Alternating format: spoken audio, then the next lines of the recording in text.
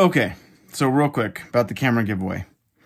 I had a subscriber message me and ask if I would ship out of the continental United States.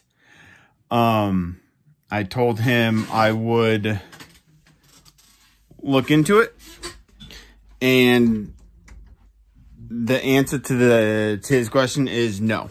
I am not going to be able to ship outside of the continental continental United States just because it's gonna cost it would just cost way too much to ship the camera to where this subscriber lives. It would cost almost $250 and I just can't afford to pay $250 to ship uh, anything.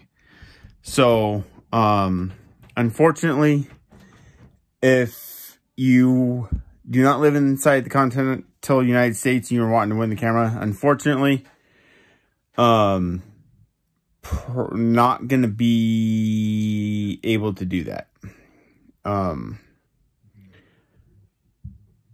but if you do live inside the continental United States and you would like to still enter for the camera giveaway, please go to the, the video pinned on either Instagram or TikTok and comment camera. When I get ready to do those, to do the drawing, I'm going to go to those videos um, and YouTube and um, pull the names from the comments that commented camera and do the drawing that way. Um, once again, if you do not live inside the continental United States and you're hoping to win the camera, that's not going to be possible. Um, so, sorry.